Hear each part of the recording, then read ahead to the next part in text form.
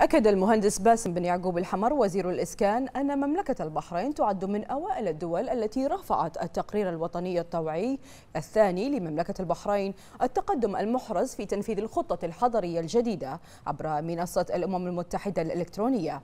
باعتبارها نموذجا مثاليا في تحقيق أهداف التنمية المستدامة.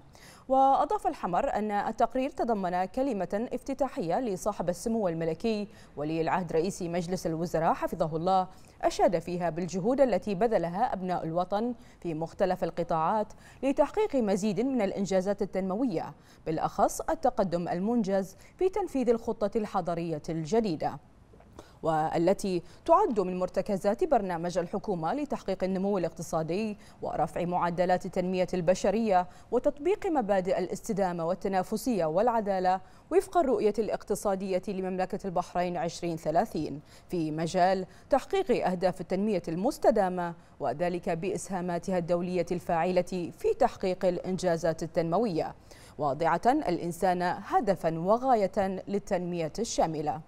ولفت الحمر إلى أن سموه. نوه خلال الكلمة أن المرحلة المقبلة تستوجب تعزيز السياسات التنموية الشاملة ومواصلة تطبيق الخطط الحضرية بالتعاون مع برنامج الأمم المتحدة للمستوطنات البشرية.